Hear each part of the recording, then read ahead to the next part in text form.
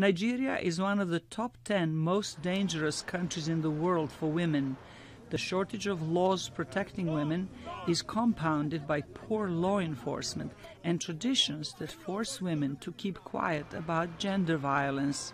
Tired of physical abuse, some Nigerian women are now taking self defense classes. It was really eye opening. I liked the fact that I could I can protect myself.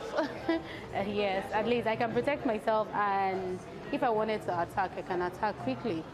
Yeah, so it went well. In Nigeria, even in a large city like Lagos, women learning to fight for themselves face a lot of criticism. It's strange, very, very strange to hear that a woman wants to defend herself if she finds herself in a position where she has to, eh, nobody is going to nobody's going to listen to that. They will just tell you that you're being you're not being submissive as a woman.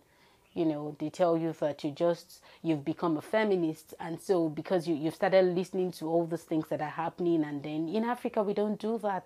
The organizers of the self defense course for women say breaking deep rooted traditions is hard. The taboo stems from the fact that societal pressures, environmental perception, and also within women themselves as well, not having the self belief that they can actually achieve and do this or what is required to become uh, proficient at self defense. Only three months ago, Nigeria adopted its first national sexual offenders register, setting up a database of those convicted for sexual violence since 2015.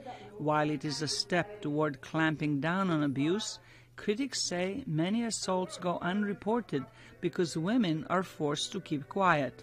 The self defense course in Lagos organized by rights group Women Impacting Nigeria and a local gym, is also teaching women to speak up. Everybody tells their story because here you're meeting women who have experienced the same things that you've experienced, but some people are silent about it.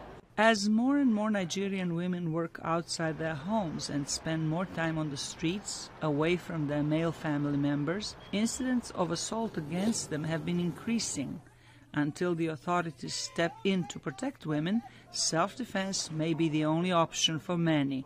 Zlatica Hoke, VOA News, Washington.